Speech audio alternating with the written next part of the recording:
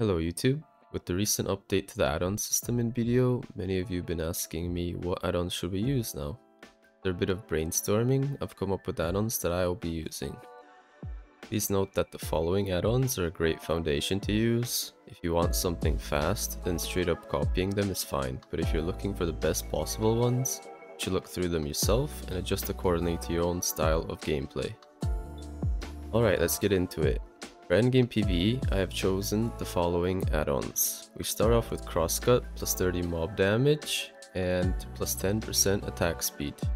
Crosscut is our filler on a 5 second CD, meaning that since the buff lasts 7 seconds, we can have a super good uptime of these two buffs.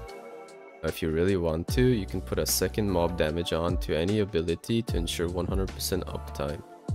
Searing Slam, we go with 30% crit rate and 10% attack speed again.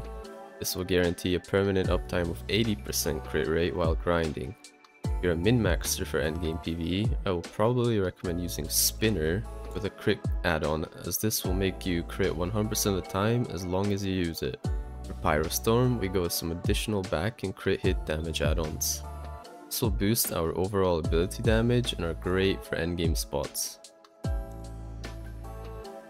Dash Slash is our DP debuffer, so we naturally stack DP and evasion rate debuffs onto it. For our fifth ability, I chose Backflow due to the add-on buff lasting longer than on one step back. We go with another back and crit damage buff to have permanent uptime running. The new system, Eradicate now has a 5% accuracy buff for 12 seconds, which is actually nutty and it's 1% more than before. Final add-on for Eradicate is honestly up to you. You can slap on additional mob damage, you can uh, put a DP debuff on, or even movement speed, as you wish.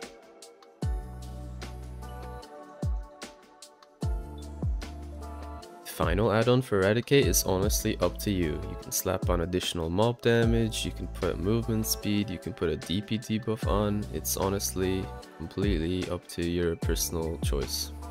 For grind spots that don't require endgame gears, such as Kratuga or Centaurs, I honestly recommend slapping on some movement speed add-ons. It doesn't really matter on what ability.